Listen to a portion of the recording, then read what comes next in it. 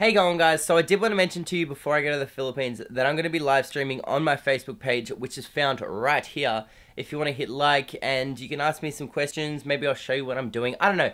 Just if you want to if you want to join, feel free to join and you'll be notified. And I'm so excited to go to the Philippines like I cannot wait. No, please don't. I'm trying so hard. I'm so scared. I'm so scared. I don't want to get on this flight. Like, it's really, really hard for me. Like, oh my god. But yeah, I'm really, really excited. Can't wait to get on this flight. Please, no, I, I don't want to go right now. I'm really nervous being alone and everything.